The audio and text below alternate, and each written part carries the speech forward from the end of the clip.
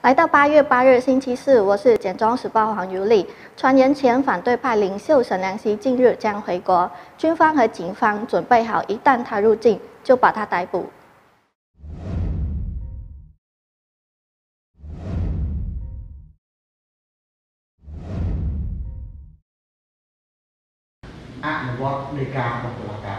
今天早上，国家警察总署开会部署工作，王家军总司令汪比胜将军以及国家警察总署总监聂沙文将军主持会议。海陆空军警首领、国家内部安全和情报局等负责人，以及金边市和边境地区省政府官员都受邀出席。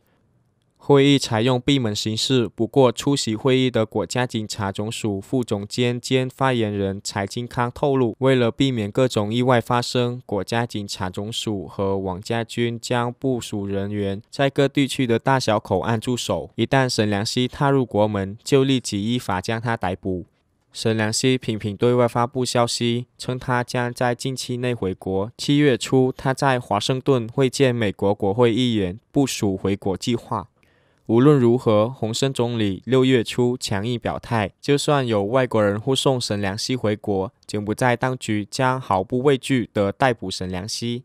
七月底，柬埔寨外交部将六名欧洲议员列入限制进入柬埔寨的名单，他们计划护送沈良熙回国。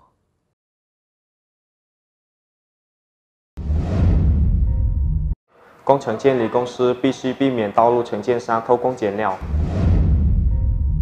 公共工程和运输部部长孙占托警告：如果负责工程的监理公司发现承建公司建路时偷工减料，然后不向政府汇报，工程部将取消与监理公司之间的合同。部长也警告，负责道路监理工作的公共工程和运输部官员也一样，一旦其监管的项目质量不达标，官员将一律被撤职。昨天，针对道路工程偷工减料问题，孙占托向媒体称，工程监理公司是公共工程和运输部的眼睛，必须要独立、办事中立，避免承建公司偷工减料。部长透露，公共工程和运输部准备成立特别工作组，专门突袭抽查道路施工的质量。明年减少公共假期，两个成衣业组织表示支持。昨天，柬埔寨成衣厂商会欢迎政府减少明年公共假期天数，并呼吁所有工会和工人给予支持。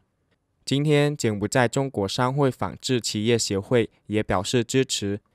柬埔寨成衣厂商会声明，与其他国家相比，柬埔寨的公共假期特别多。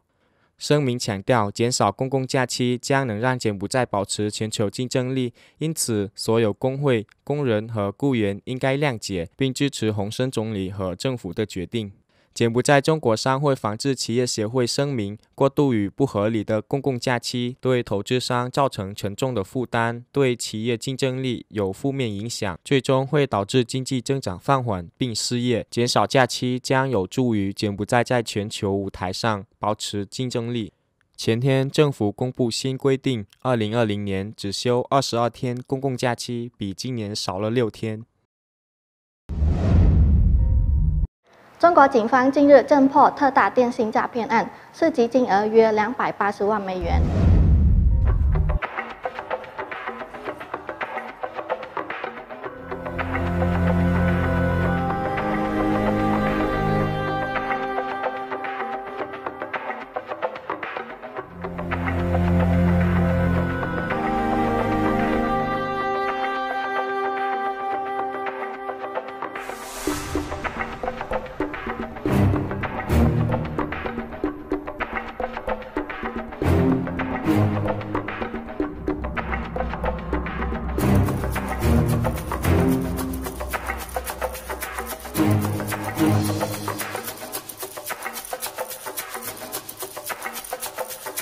Thank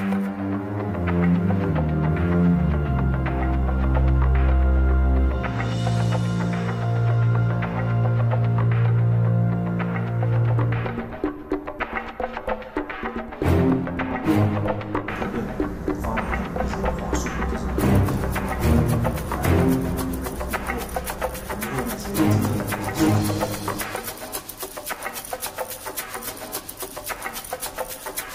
Música